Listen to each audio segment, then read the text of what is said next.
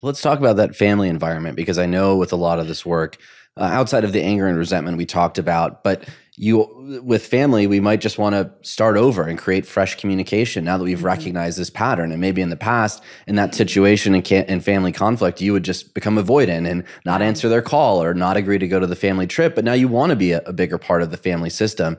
How do you make change in that environment where it's now a dynamic that really has been well worn, probably lasted longer than a lot of our romantic and personal relationships. Yeah. So I think that the first key is really just to start practicing active listening as a family. So this is something that we do a lot of in therapy. We talk about it a lot in therapy, but I feel like it just has so many different applications so that we can really listen to understand. Yeah. Oftentimes, when we're talking to other people, even in a social environment, we're like thinking about what we're going to say next. Like you're saying something to me, and I'm like, oh, I really want to say this other thing. But then you start missing part of the actual conversation yeah, and what important? they're really trying to communicate. It's kind of about trusting yourself that you know that you're going to come up with the next logical thing to say or the next interesting or helpful thing to say, but that's easier said than done. So active listening has a very easy script. Essentially, somebody else is going to communicate for a little bit. You're going to try to listen and be as attentive as possible. When they're done, the thing that you're going to say is just trying to recap what they said.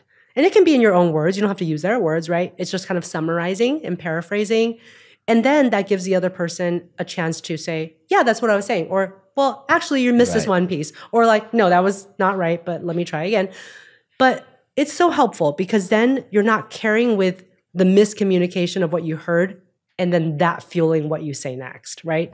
So even just that piece it slows down the communication. It makes sure that it's actually accurate, what's being communicated.